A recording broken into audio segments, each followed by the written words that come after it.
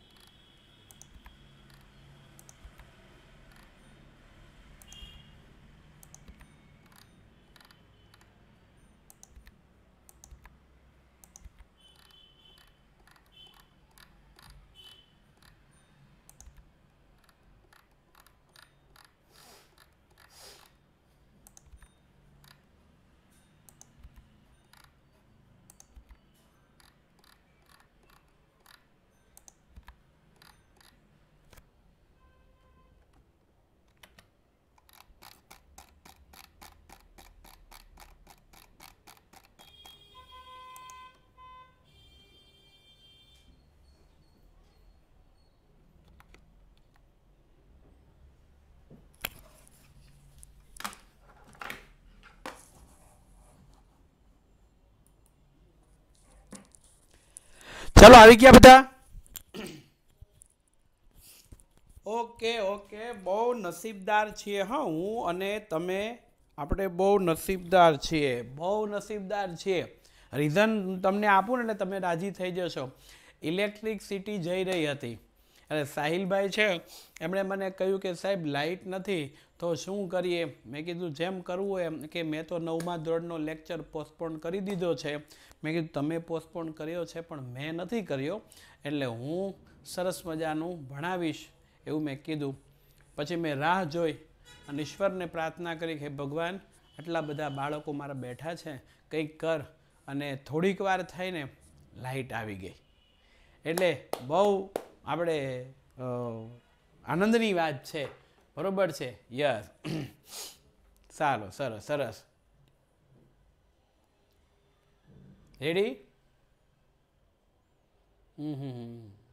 Yes ચાલો. મોડું તો મોડું શરૂ કરી દીધું છે. પ્રકરણ નંબર પંદર, આર્થિક વિકાસની શરૂઆત કરશું. અગાઉ જે પીડીએફ હતી પીપીટી નથી ખુલી, એટલે અગાઉની જે પીડીએફ હતી ને છોકરાઓ, એ મેં ચાલુ કરી છે. એટલે તમે ગભરાશો નહીં, થોડુંક આગળનું લખેલું ને એવું બધું આવે ને, તો, ઓકે? હું જરાક વાયર દોરા હરખા કરી લઉં, કારણ કે પડી જવાની બીક લાગે છે આ બધું. હા, એકવાર તો બધું નીચે નાખ્યું હતું ને? હા. ચાલો. ઓકે. હવે બધું આપણે બીજું બંધ કરી અને ધ્યાન રાખશું. ઇકોનોમિક્સનું ફર્સ્ટ ચેપ્ટર છે. આર્થિક વિકાસ એને આપણે અત્યારે લઈ રહ્યા છીએ. ઓકે? સરસ. ચાલો. તો આ તો બધાને ખબર જ છે, આપણી જૂનું છે તે. ચાલો. આર્થિક વિકાસ એટલે શું? તો સૌથી પહેલાં આપણે જે વાત કરીશું એમાં આર્થિકનો મિનિંગ થાય છે નાણાકીય, જે અહીંયા લખેલું છે. એક માર્ક્સના ક્વેશ્ચનની અંદર આપણને પૂછાય આર્થિક એટલે શું? તો આર્થિક એટલે થાય નાણાકીય. આધુનિક યુગની અંદર પ્રત્યેક દેશ વિકાસ માટે પ્રયત્ન કરે. પ્રયત્ન એટલે સતતને સતત એ કાર્ય કરતો રહે છે. બરોબર? કેમ? તો કે બધાને આવક જોઈએ ખાવા પીવા માટે જોઈએ એટલે એ પરંતુ વિકાસ એ માત્ર આર્થિક જ નહીં, અનેક પાસા ધરાવતી સામાજિક પરિવર્તનની પ્રક્રિયા છે. અને આ પરિવર્તન તમને બધાને ખબર છે કેવી પ્રક્રિયા છે? તો કે સતત ચાલતી પ્રક્રિયા છે. દાદાજીના જમાનામાં જે પરિવર્તન હોય, એમાંથી પપ્પાના જમાનામાં ફેરફાર થાય, આપણા જમાનામાં ફેરફાર થાય, આમ ફેરફાર થયા જ કરે, થયા જ કરે, થયા જ કરે. એટલે આ પરિવર્તન છે એ કાયમિક માટે ચાલે છે. અને આર્થિક વિકાસ એ કોઈ દેશની રાષ્ટ્રીય આવકમાં થતો સતત વધારો દર્શાવે છે. આ એમસીક્યુમાં પૂછાય, આર્થિક વિકાસ કોને કહેવાય? તો કે કોઈપણ દેશની રાષ્ટ્રીય આવકની અંદર થઈ રહેલો સતત વધારો છે. એમાં બે આવક વધે. પહેલાં કોઈ એક વ્યક્તિની આવક વધે તો એ વ્યક્તિગત આવક કહેવાય માથાદીઠ એવા અસંખ્ય વ્યક્તિઓ છે, એની આવક ભેગી કરીએ તો રાષ્ટ્રની આવક થાય. બરોબર? ઓકે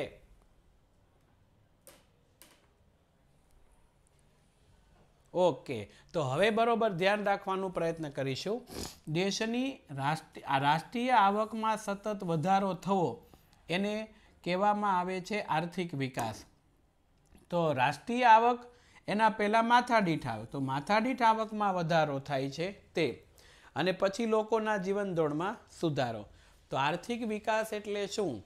જ્યારે કોઈ પણ દેશની રાષ્ટ્રીય આવકમાં સતત વધારો થાય છે, એ જ રીતે માથાદીઠ આવકમાં સતત વધારો થાય છે અને પરિણામે જીવન ધોરણની અંદર સુધારો થાય છે. જો આવકમાં વધારો કરવાનો અને જીવન ધોરણમાં સુધારો કરવાનો.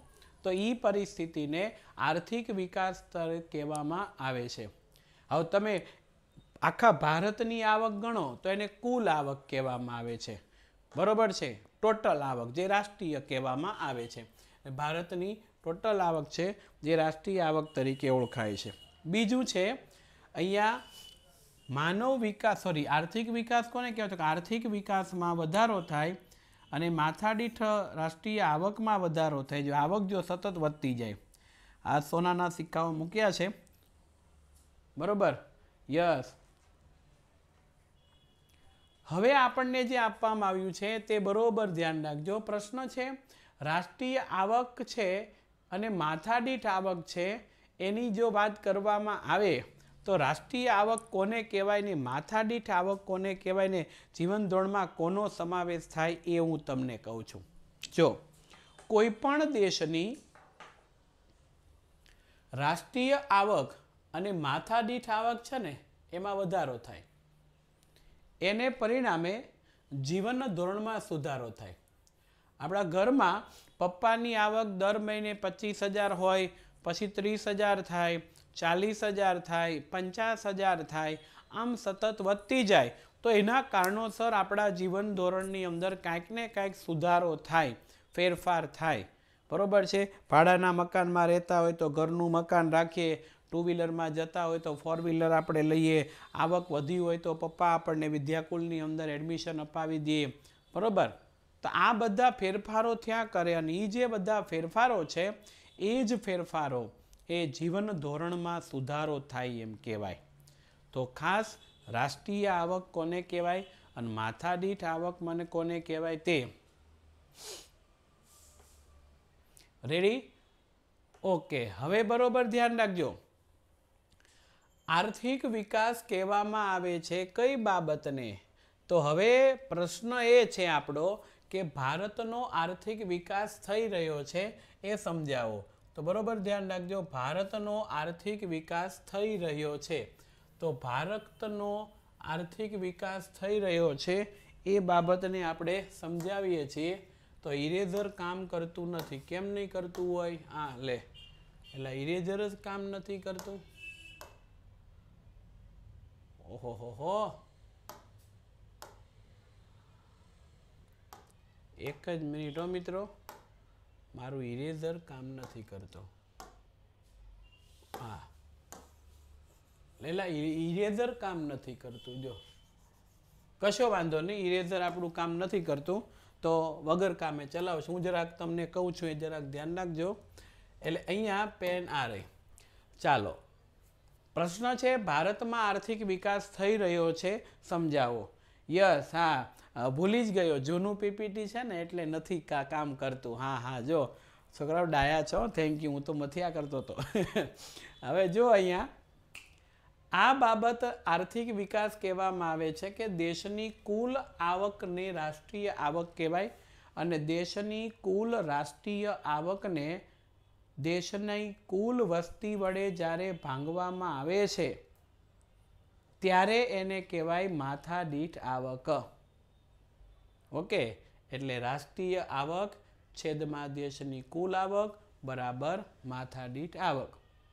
ઓકે? સૂત્ર આપ્યું હોય ત્યારે તમારે લખવાનું. હવે માથાદીઠ આવક ને રાષ્ટ્રીય આવક વધે તો જીવન ધોરણમાં સુધારો થાય. તો જીવન ધોરણમાં કઈ કઈ બાબતોનો સમાવેશ થાય એ તમારે પરીક્ષામાં પૂછે. તો જીવન ધોરણમાં લોકોને પ્રાપ્ત થતી સગવડો જેમ કે અનાજ, કપડાં શિક્ષણ, રહેઠાણની સુવિધા વગેરેનો સમાવેશ થાય છે. રેડી તો આ બધી પરિસ્થિતિ કે જેનો અહીંયા આર્થિક વિકાસ થઈ રહ્યો છે એમ ગણાવી શકાય છે. તો અગાઉની તુલનામાં ભારતનો સારો વિકાસ થયો છે એટલા માટે. હવે આઈ રિક્વેસ્ટ ફોર યુ કે ખોટી કોમેન્ટ કર્યા વગર ભણવામાં ધ્યાન રાખો. બાકી મારી ડબલ ક્લિક તમને અહીંયાથી કાઢી મૂકશે. એટલે પ્લીઝ મહેરબાની કરી અને શાંતિ રાખવાનો પ્રયત્ન કરો. કોઈ પણ જાતની ખોટી કોમેન્ટ હવે નહીં જોઈએ અને ભણવાનું છે એનું ધ્યાન રાખો. ઓકે હા હા. ચાલો. એટલે અહીંયા આ બધી બાબતોનો સમાવેશ અહીંયા થાય છે. હવે ભારતનો આર્થિક વિકાસ થઈ રહ્યો છે એ આપણે જાણવું છે તો કઈ રીતે જાણી શકાય એની વાત આપણને આપવામાં આવી છે. તો અત્યારે લેક્ચર આપણો સરસ મજાનો ચાલુ છે. એમાં બરોબર ધ્યાન રાખવાનો પ્રયત્ન કરજો. ભારતનો આર્થિક વિકાસ થઈ રહ્યો છે એમ કઈ રીતે કહી શકાય? મારે કેવું છે? બે માર્ક્સમાં પ્રશ્નમાં પૂછાય કે ભારતનો આર્થિક વિકાસ થઈ રહ્યો છે. તો કોના આધારે એવું કહી શકાય કે વિકાસ થઈ રહ્યો છે? તો જો, વિકાસ થઈ રહ્યો પહેલું કે ભારત આઝાદી પછી રાષ્ટ્રીય આવક અને માથાદીઠ આવકમાં વધારો થવાથી અનાજ, કપડાં, વીજળી શિક્ષણ, આરોગ્ય, રહેઠાણ આ બધી સેવાનો વપરાશ અને સુવિધામાં વધારો થયો છે.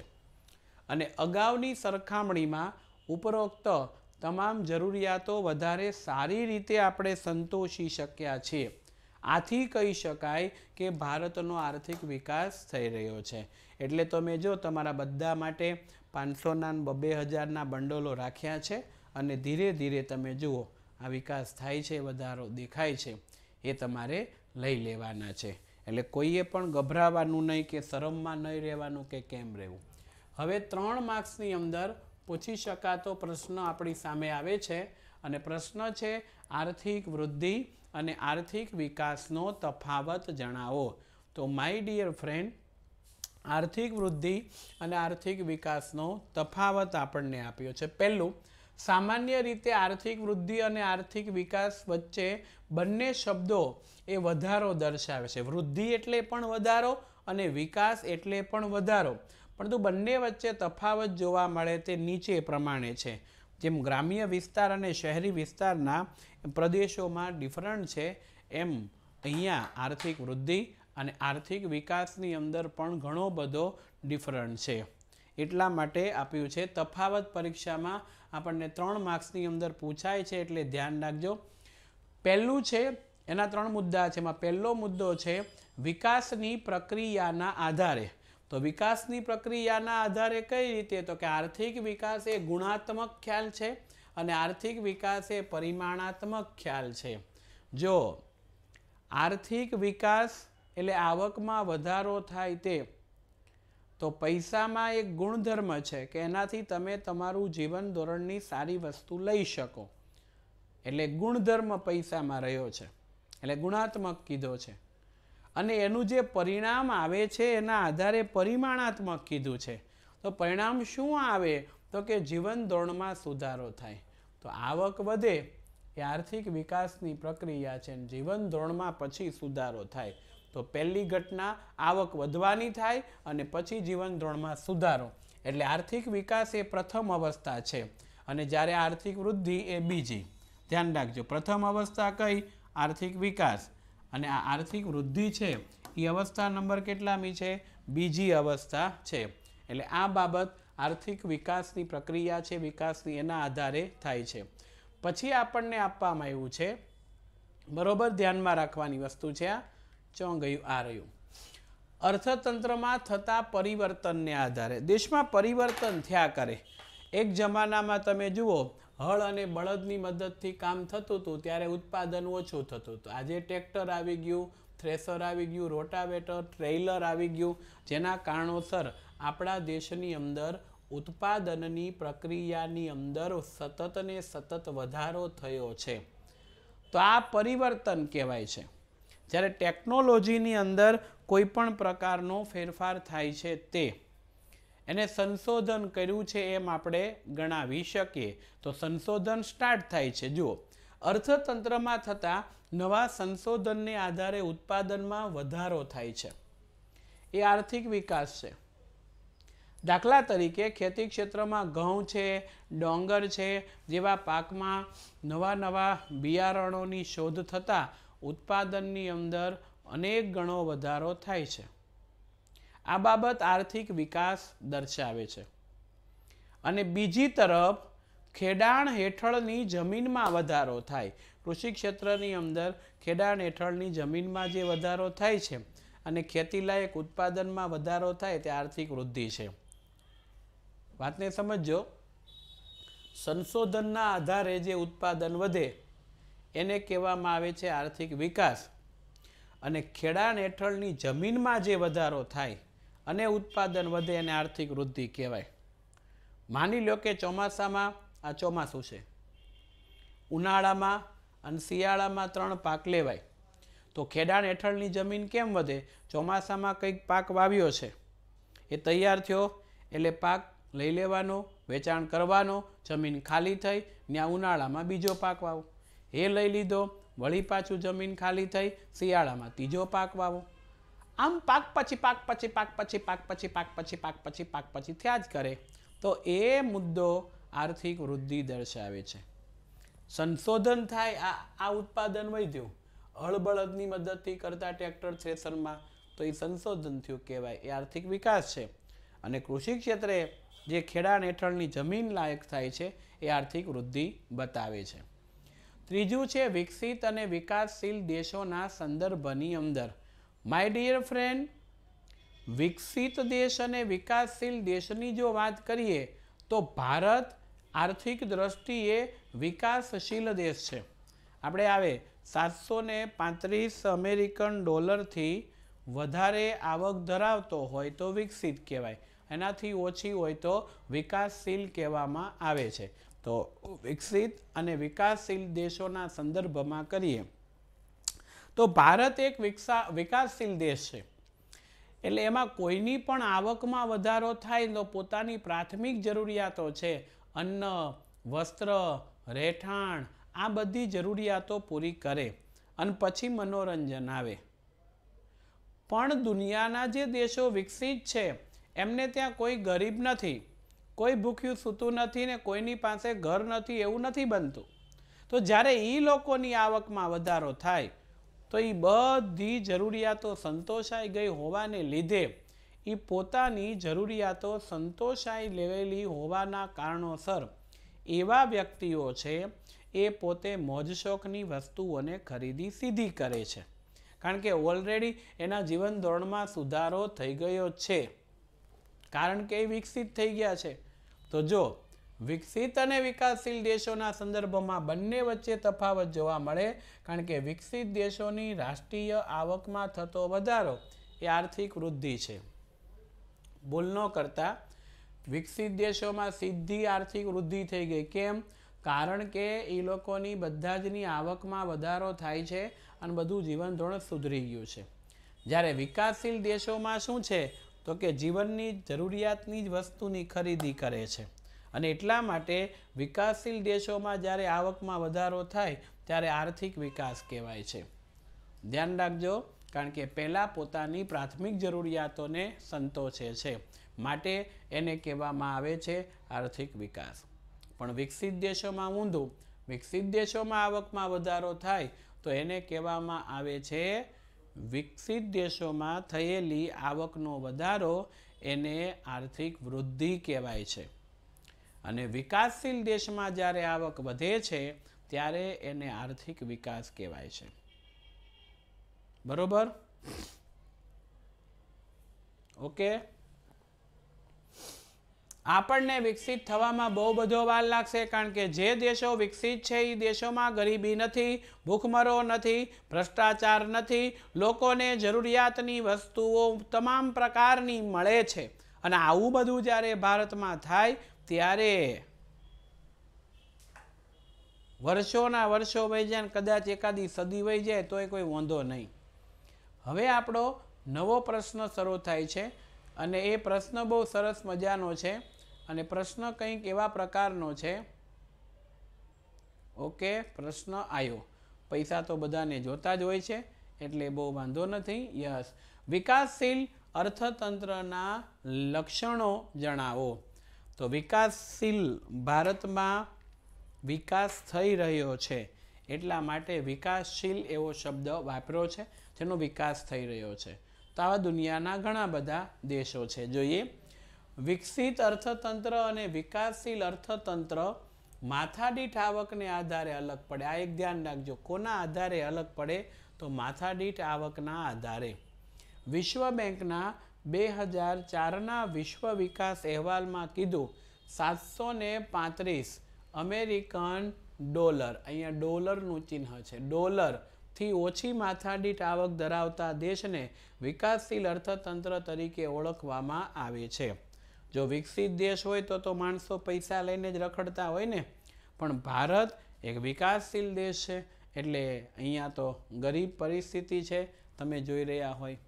તો સાતસો ને પાંત્રીસ અમેરિકન ડોલરથી ઓછી આવક ધરાવે તો એને વિકાસશીલ કહેવાય છે.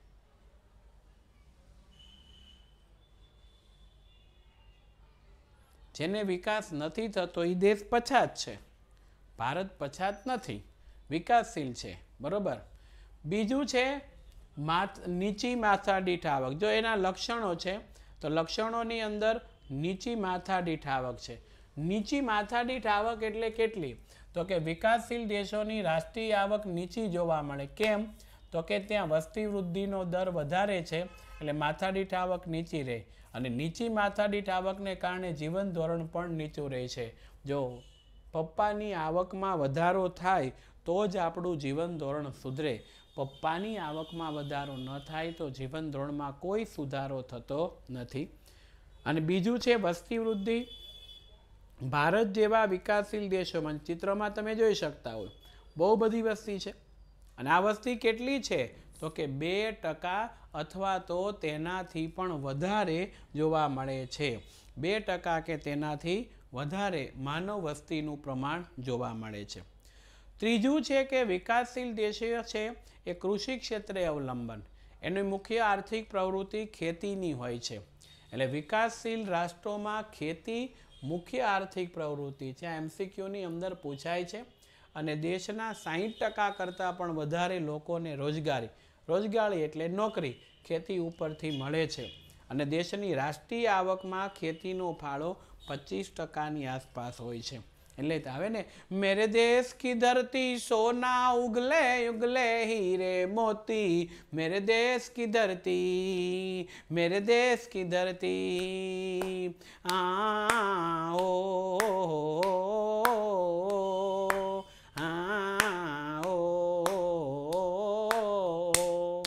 આવું સરસ મજાનું છે, હા? બરોબર છે હમ હમ. અને બધાએ ભારત માટે કંઈક મોટું કરવું પડે એમ જ છે. જે રાષ્ટ્રમાં રહીએ છીએ એના માટે જેનાથી વિકાસ થઈ શકે એટલે કૃષિ ક્ષેત્ર ઉપર અવલંબન આપણને આપ્યું છે. ચોથું, આવકની અસમાન વહેંચણી. જો ભાઈ, બંડલો તો મેં તમને આપ્યા છે, પણ વહેંચણી અસમાન છે. કેમ? તો જુઓ આવકની અસમાન, અસમાનતા એટલે અલગ અલગ વહેંચણી. વિકાસશીલ રાષ્ટ્રોમાં આવક અને ઉત્પાદનના સાધનોમાં અસમાનતા જોવા મળે. અસમાનતા ગ્રામીણ અને શહેરી બંને વિસ્તારમાં જોવા મળે. કેમ? તો કે દેશના ટોચના. ટોચના એનો મિનિંગ થાય ધનિક. લોકો છે એની વાત કરે. દેશના ટોચના વીસ ટકા ધનિક લોકોનો રાષ્ટ્રીય આવકની અંદર ફાળો ચાલીસ ટકા છે.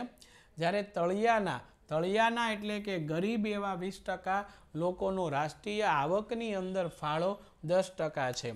આમ વિકાસશીલ રાષ્ટ્રોમાં આવક અને સંપત્તિનું કેન્દ્રીકરણ કેન્દ્રીકરણ એટલે અમુક લોકોની પાસે જ સ્થગિત થવું એને કેન્દ્રીકરણ કહેવાય છે. બરોબર છે? આખો સવાલ છે એ આપણને નહીં પૂછાય.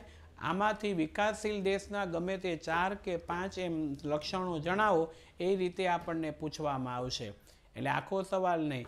અને બે ગુણની અંદર, બરોબર છે? આ એટલું બધું અંગ્રેજીમાં પેરેગ્રાફ ભરીને લખ્યું છે, હું કંઈ વાંચી શકું એમ નથી. એટલે ગુજરાતીમાં લખો અને વગર કામનું ન લખો. બરોબર? આમ વિકાસશીલ દેશોની અંદર આવક છે, એનું કેન્દ્રીકરણ થયેલું જોવા મળે છે. જેમ કે સંપત્તિનું, જે લખ્યું, ઉપરના એટલે વીસ ટકા લોકોનો રાષ્ટ્રીય આવકમાં હિસ્સો ચાલીસ ટકા. તળિયાના એટલે ગરીબ વીસ ટકાનો રાષ્ટ્રીય આવકની અંદર દસ ટકા હિસ્સો છે. એટલે આ આવકની અસમાનતા દર્શાવે છે રાષ્ટ્રીય ફાળો. બરોબર? તો સમાનતા કંઈ નથી. પછી બેરોજગારી, એનું બીજું નામ છે બેકારી. ઓહો હો. બહુ મોટો પ્રશ્ન બેરોજગારીનો છે, જેને બેકારી તરીકે ઓળખાય છે. ભારતમાં વસ્તી વૃદ્ધિનો દર બે ટકા અથવા તેનાથી વધારે છે.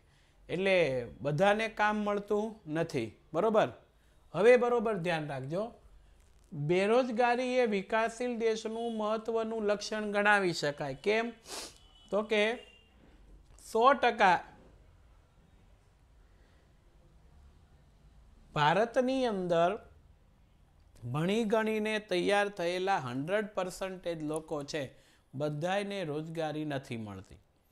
નથી પ્રાથમિક ક્ષેત્ર આપી શકતું, નથી માધ્યમિક ક્ષેત્ર કે નથી સેવા ક્ષેત્ર, નથી સરકાર આપી શકતી કે નથી ખાનગી ક્ષેત્ર આપી શકતું. એટલે આ એક પ્રશ્ન થયો છે. તો આ દેશમાં બેરોજગારીનું પ્રમાણ કુલ શ્રમિકોના ત્રણ ટકા, કામ કરવાવાળા સો ટકા હોય, એમાં ત્રણ ટકા બેરોજગાર હોય છે. આ દેશોમાં બેરોજગારી જુદા જુદા સ્વરૂપે જોવા મળે. જેમ કે મોસમી બેરોજગારી છુપી બેરોજગારી ઔદ્યોગિક બેરોજગારી વગેરે બેરોજગારી. અને આ બધી બેરોજગારી છે એ લાંબા ગાળાની હોય છે, કોઈ ટૂંકા ગાળાની નથી. આપણે સત્તરમા પાઠમાં બેરોજગારીના પ્રકારોની અંદર આપણે ભણીશું. એટલે આ એક મુદ્દો આપણને ખાસ આપ્યો છે. તમે જુઓ, છઠ્ઠું લક્ષણ છે ગરીબી. વિકાસશીલ દેશો છે ગરીબી એ વિકાસશીલ રાષ્ટ્રનું મુખ્ય લક્ષણ છે. જે લોકો પોતાની પ્રાથમિક જરૂરિયાતો, જેમ કે અનાજ છે, કપડાં છે, રહેઠાણ છે, શિક્ષણ છે, વગેરે આરોગ્યની સેવાને સંતોષી શકતા નથી, તો એને ગરીબ કહેવામાં આવે છે. અને આવા ગરીબ વ્યક્તિઓ છે, એ વિકાસશીલ દેશોમાં જોવા મળે. એટલે કુલ વસ્તીના ત્રીજા ભાગના લોકો ગરીબ છે. કે જે માંગીને ખાય છે, એની પાસે પોતાની જરૂરિયાતો પૂરી કરવા માટે નથી. હા, કાલે એક વાગે લેક્ચર છે, એટલે ગભરાશો નહીં, હું આવી જઈશ. પછી છે દ્વિમુખી અર્થતંત્ર. બરોબર, દ્વિમુખી એટલે એક બાજુએ ગામડું, એક બાજુએ શહેર, એક બાજુએ વિકાસ થયો હોય, એક બાજુએ વિકાસ નથી થયો. એ બે પરિસ્થિતિ જેને કહેવાય દ્વિમુખી. એટલે વિકાસ ઓછો ક્યાં? તો કે ગામડામાં. અને શહેરી વિસ્તારમાં વિકાસ વધારે એટલે આ બે પરિસ્થિતિ છે એ અલગ સ્થિતિ જેને દ્વિમુખી કહેવાય. વિકાસશીલ દેશોનું અર્થતંત્ર દ્વિમુખી સ્વરૂપ પ્રવર્તે છે. જેમ કે એક બાજુએ ગ્રામ્ય વિસ્તારમાં પછાત ખેતી પદ્ધતિ, જૂના પુરાણા યંત્ર, રૂઢિચુસ્ત સામાજિક માળખું, ઓછું ઉત્પાદન જોવા મળે બીજી બાજુએ શહેરી વિસ્તારમાં આધુનિક ઉદ્યોગો, નવું ઉત્પાદન પદ્ધતિ, આધુનિક યંત્રો, વૈભવી જીવનશૈલી જોવા મળે. તમે જુઓ, ગામમાં બિચારું કશું નથી અને શહેરોમાં ઊંચી ઊંચી ગગનચુંબી ઇમારતો થઈ ગઈ છે. તો આ બંને વચ્ચેનો જે ડિફરન્ટ છે તે આપણને આપવામાં આવ્યો છે. હવે છે પાયાની અપર્યાપ્ત સુવિધા. અપર્યાપ્ત એટલે જે પૂર્ણ નથી થતી છે. તો વિકાસ માટે જરૂરી અનિવાર્ય પાયાની સુવિધા જેવી કે શિક્ષણ વાહન વ્યવહાર સંદેશા વ્યવહાર વીજળી છે, આરોગ્ય બેંક વગેરે અર્થતંત્રમાં ઓછી જોવા મળે જે વિકાસ માટે અવરોધક છે. તો ભારત જેવા વૈભવી જીવનશૈલી એટલે સુખ સગવડની જીવનશૈલી. વૈભવી જેને કહેવામાં આવે છે. તો આવી બધી તમે જુઓ જરૂરિયાતો શહેરી વિસ્તારમાં છે. અને ગ્રામ્ય વિસ્તારમાં નથી, તો અપર્યાપ્ત અપૂરતી સુવિધા છે એવું આપણે કહી શકીએ છીએ. આંતરરાષ્ટ્રીય વેપારનું સ્વરૂપ. વિકાસશીલ દેશોમાં વ્યાપારનું સ્વરૂપને માળખું અલગ. જો આ દેશો કૃષિ પેદાશો બગીચા પેદાશો કાચી ધાતુની નિકાસ કરતા હોય છે, એની નિકાસ કરે પણ એની માંગ ઓછી હોય. એટલે એનો ભાવ નીચો. જેથી નિકાસ કમાણી ઓછી અને ઔદ્યોગિક પેદાશો યંત્ર સામગ્રીની હોય છે એનો ભાવ વધારે. ટૂંકમાં, તમે જે વસ્તુની ભાવ વધારે ચૂકવી કરો છો, તેની આયાત પાછળનું ખર્ચ વધે છે. આમ વિકાસશીલ રાષ્ટ્રો માટે વિદેશ વેપારની શરતો પ્રતિકૂળ. પ્રતિકૂળ એટલે અનુકૂળ નથી તે. બરાબર? હોવાને લીધે વિદેશી દેવું વધે છે. હવે જુઓ, તમે જે વસ્તુની આયાત કરો છો, એ વસ્તુની કિંમત વધારે છે અને તમે જે નિકાસ કરો છો, એની કિંમત ઓછી છે. તો કિંમત ઓછી હોય અને નિકાસ વધારે કરતા હોય, બરોબર છે? તમારી આયાત ખરીદી વધારે હોય છે, ત્યારે તમારે કેટલુંક નાણું ચૂકવવું પડે, દેવું વધે. તમારી આવક ઓછી હોય અને તમારો ખર્ચો વધારે હોય છે. ત્યારે કેવું વધે, દેવું વધે છે. આ બધા ધ્યાનમાં રાખજો. હવે આર્થિક અને બિન આર્થિક પ્રવૃત્તિ કોને કહેવાય છે? તે ભારતીય અર્થતંત્રનો પરિચય આપતા પહેલાં આપણે આર્થિક અને બિન આર્થિક પ્રવૃત્તિની વાત કરીશું. તો પહેલું આર્થિક પ્રવૃત્તિ બે ગુણમાં પૂછાય. આવક મેળવવાની કે ખર્ચ કરવાના પ્રવૃત્તિ? જો આવક મેળવવાની અને ખર્ચ કરવાના હેતુથી કરવામાં આવતી જે પ્રવૃત્તિ છે, એ પ્રવૃત્તિને કહેવામાં આવે છે આર્થિક વિકાસ. બરોબર છે? ધ્યાન રાખજો. આર્થિક પ્રવૃત્તિ કહેવાય છે. દાખલા તરીકે ખેડૂત છે, કારીગરો છે, વેપારી છે, શિક્ષક છે, વગેરેની પ્રવૃત્તિ આર્થિક પ્રવૃત્તિ કહેવાય. એમાં એક વ્યક્તિ ખર્ચ, તમે ખર્ચ કરો, તો મને આવક મળે છે. તો મારી પ્રવૃત્તિ આર્થિક થઈ છે. તો આવી આર્થિક પ્રવૃત્તિ છે. બીજું છે બિન આર્થિક પ્રવૃત્તિ. જાગો છો તો બહુ સારું. બિન આર્થિક પ્રવૃત્તિમાં કે જે પ્રવૃત્તિનો હેતુ આવક મેળવવાનો કે ખર્ચ કરવાનો હોતો નથી, એટલે ન હોય તો એવી પ્રવૃત્તિને બિન આર્થિક પ્રવૃત્તિ કહેવાય છે. દાખલા તરીકે માતા પોતાના બાળકનો ઉછેર કરે કે વ્યક્તિ સમાજ સેવાનું કાર્ય કરે, એને બિન આર્થિક પ્રવૃત્તિ કહેવામાં આવે છે. ઓકે? એટલે આ એક વસ્તુ થઈ. મમ્મીને કોઈ પગાર નથી આપતું. હું જ્યારે મારા બાળકને ભણાવું છું ત્યારે મને કોઈ પગાર નથી આપતું. બરોબર? તો મુદ્દો અહીંયા છે. એટલે અહીંયા આ બાબતો આપવામાં આવી છે. ગણિતનો લેક્ચર કદાચ ચાલુ હોય તો શરૂમાં લાઇટ વહી ગઈ હતી એટલે એમ થયું હશે. અત્યારે જે ચાલુ છે એને ભણો. ભારતીય અર્થકારણનું માળખું. હવે અર્થતંત્રમાં વિવિધ અસંખ્ય આર્થિક પ્રવૃત્તિઓ અને વ્યવસાયોને ત્રણ ભાગમાં વહેંચી શકાય. એક પ્રાથમિક, બીજું માધ્યમિક ને ત્રીજું સેવા. અને આર્થિક પ્રવૃત્તિને વ્યવસાયિક માળખામાં ત્રણ ભાગ. પહેલું પ્રાથમિક ક્ષેત્ર. તો પ્રાથમિકમાં શું? તો કે અર્થતંત્રના આ વિભાગમાં ખેતી અને ખેતી સાથે સંકળાયેલી વિવિધ પ્રકારની વસ્તુઓ, જેવી કે પશુ સંવર્ધન, મત્સ્ય ઉછેર, મરઘા બતકા ઉછેર પછી જંગલને ધાતુનું ખોદકામ કરવામાં આવે છે તે. અને સાથે સાથે આ બધી પ્રવૃત્તિ પ્રાથમિક ક્ષેત્રની અંદર સમાવેશ થાય છે. બરોબર? ધ્યાન રાખજો. આ બધી પ્રવૃત્તિ પ્રાથમિક ક્ષેત્રની અંદર આવતી હોય છે. ઓકે?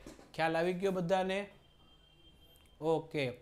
હવે બરોબર ધ્યાન રાખજો. બીજું છે માધ્યમિક ક્ષેત્ર, જેને ઉદ્યોગ તરીકે ઓળખાય છે. નાના મોટા પાયાના ઉદ્યોગો બાંધકામ પ્રવૃત્તિ વગેરેનો સમાવેશ થાય. એનું બીજું નામ ઉદ્યોગ ક્ષેત્ર. એટલે નાની ટાંકણીથી માંડી અને મોટા કદના યંત્રો સુધી બધું એમાં આવે છે.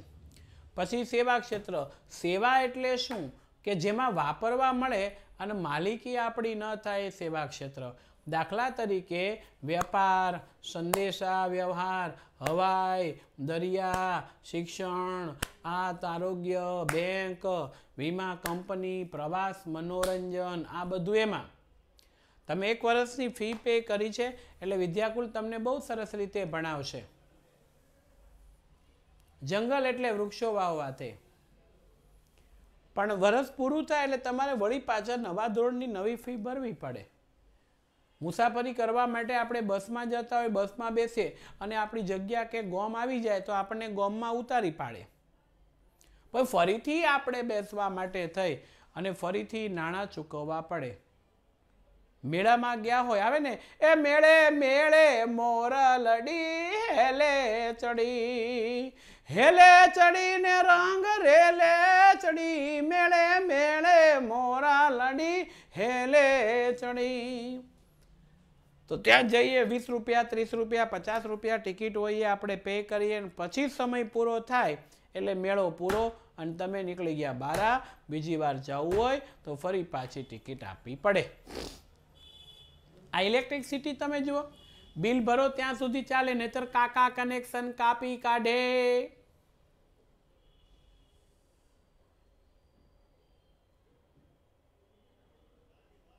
બરોબર?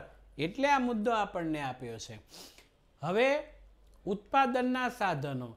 તો મિત્રો, ઉત્પાદનમાં કુદરતી સંપત્તિ અને શ્રમની મદદથી જે બધું છે, એની વાત કરશું. તો આવા ઉત્પાદનના સાધનોને ચાર વિભાગમાં વેચાય જમીન, મૂડી, શ્રમ અને નિયોજન. તો જમીન કોને કહેવાય? જમીન એટલે આપણે પહેલાં જમીન આવી એ નહીં. આ પ્લેટફોર્મ જમીનની વાત થાય છે. સામાન્ય અર્થમાં જમીનને આપણે પૃથ્વીના ઉપરના પડ તરીકે ઓળખીએ છીએ. પરંતુ અર્થશાસ્ત્રની પરિભાષામાં જમીન એટલે તમામ પ્રકારની કુદરતી સંપત્તિ, જેમાં જંગલો, નદીઓ, પર્વતો, પૃથ્વીના પેટાળમાં આવલા ખંજો, ધાતુઓ વગેરેનો સમાવેશ થાય છે જમીનમાં. અને જમીન એ ઉત્પાદનનું કુદરતી, આ ધ્યાન રાખજો. પરીક્ષામાં એમસીક્યુમાં એમ પૂછે છે ઉત્પાદનનું કુદરતી સાધન એટલે જમીન. બીજું છે મૂડી. તો મૂડી એટલે શું? ઉત્પાદનની પ્રક્રિયામાં ઉપયોગમાં લેવાતી આ માનવસર્જી સાધનો, યંત્રો કે ઓજારો જેને આપણે મૂડી તરીકે ઓળખીએ છીએ. મકાનો, હથિયારો બધું. બરોબર છે? પણ ધ્યાન રાખજો મિત્રો માય ડિયર ફ્રેન્ડ આજે પ્રોગ્રામ કશો જ નથી અહીં ધ્યાન રાખો પહેલાં. મૂડી માનવ સર્જિત સાધન છે, પણ એની માથે મીંડું નહીં મગતા નહીં ત્યારે મુંડી થઈ જશે. હા, એટલે મુંડી પાછી અહીંથી આટલી જ આવે. ત્રીજું છે શ્રમ. ભૌતિક વળતર. એટલે કંઈક કામ કરીએ એના બદલામાં પૈસા મળે, ભૌતિક વર્તન કહેવાય. ભૌતિક વળતરની અપેક્ષાએ કરવામાં આવતું શારીરિક અથવા માનસિક કે બંને પ્રકારનું કાર્ય અને શ્રમ કહેવાય. અને શ્રમ એ ઉત્પાદનનું જીવન સજીવ સાધન છે. હું તમને ભણાવું તો હું શ્રમ છું, પણ હું જીવન સાધન છું. ડૉક્ટર હોય, જીવન સાધન હોય. બરોબર છે? હા. એમાં એવું છે, આજે પગ જરાક મસ્કોડાઈ ગયો છે, એટલે બેસી ગયો. મેં ટ્રાય કરી, અત્યાર સુધી ઊભું રહેવાની. પછી પેઇન થવા મળ્યું એટલે મેં કીધું બેસી જાઓ હવે. અને ત્યારે બેસીને કહું, કોઈ દી ભણાવું જ નહીં ને. નહીં, થાકું નહીં. ભગવાનની દયા છે ને તમારા જેવા બાળકોની કૃપાના કારણોસર હું થાકું નહીં. સતત સવારે સાત વાગ્યામાં લેક્ચરો ચાલુ થયા હોય તે રાત્રે આઠથી નવનો લેક્ચર છેલ્લો હોય. બરોબર? પણ નો વાંધો છે એટલે હું અહીં કવિએ લખ્યું છે કે શ્રમ એ ઉત્પાદનનું સજીવ સાધન છે. ખેત મજૂરો કામદારો મારા જેવા સાહેબો તમારા જેવા ડોક્ટરો બાપુજી જેવા કારીગરો બધા શ્રમનું કાર્ય કરે છે. નિયોજન નિયોજન એ કામ છે, નિયોજક એ વ્યક્તિ છે. આ ધ્યાન રાખજો.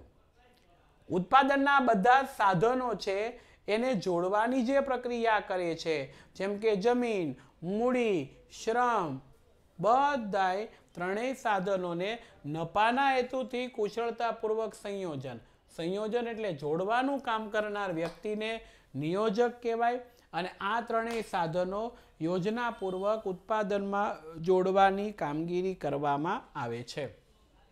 અને હા, નિયોજન કરનારને નિયોજક તરીકે ઓળખાય છે. અને હવે ઉત્પાદનના સાધનોની ફાળવણી કરવાની છે. તો મિત્રો માનવીની જરૂરિયાતો અમર્યાદિત છે, કદાપી પૂરી ન થાય. ન થાય ન થાય. માનવી જરૂરિયાતોનું પોટલું છે, એક ખોલો ત્યાં બીજી જાગે ને બીજી ખોલો ત્યાં ત્રીજી જાગે, કોઈ દિવસ પૂરી ન થાય ન થાય ને ન થાય. પણ એને સંતોષવાના સાધનો વિશ્વની અંદર મર્યાદિત પ્રમાણમાં છે. એટલે એની અછત સર્જાય. તો પહેલું, ઉત્પાદનના સાધનોની ફાળવણીનો મુદ્દો, અમર્યાદિત જરૂરિયાતો. કે માનવીની જરૂરિયાતો અસંખ્ય છે અને એને સંતોષવા માટેના સાધનો છે ને એ મર્યાદિત છે. અને વળી એક જરૂરિયાતમાંથી બીજી જરૂરિયાતો ઉદ્ભવે છે. ઘણી જરૂરિયાતો વારંવાર સંતોષવી પડે એવી છે. આ ભૂખને તરસ વારંવાર એવું ન હોય કે સવારે બાલદી ભરીને પાણી પી લઈએ. એટલે આખો દિવસ ટેન્શન નહીં. સવારે પંદર વીસ રોટલી ખાઈ જઈએ, આખો દિવસ ટેન્શન નહીં, એવું નથી.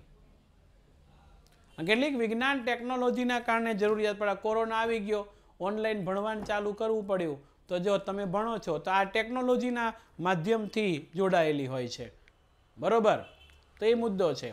પછી જરૂરિયાતોનો અગ્રતા ક્રમ આપીએ છીએ.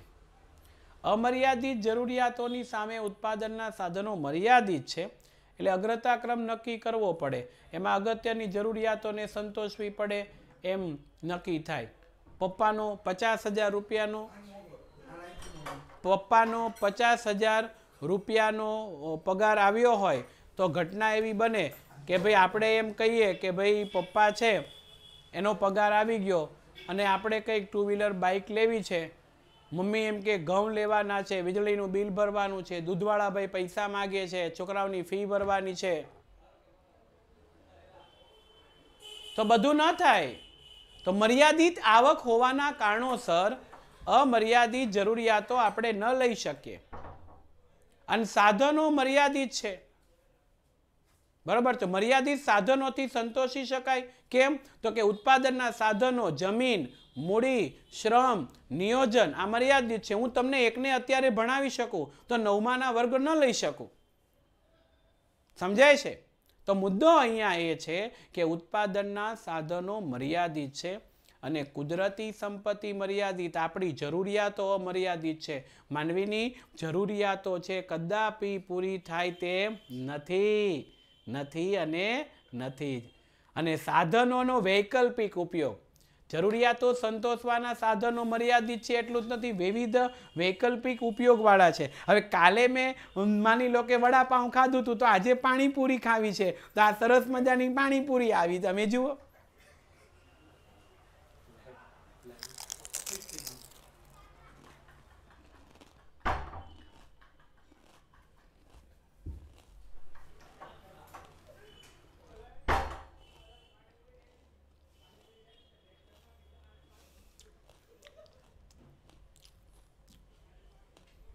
તમે જોઈ શકો, જરૂરિયાતો પૂરી જ નથી થતી.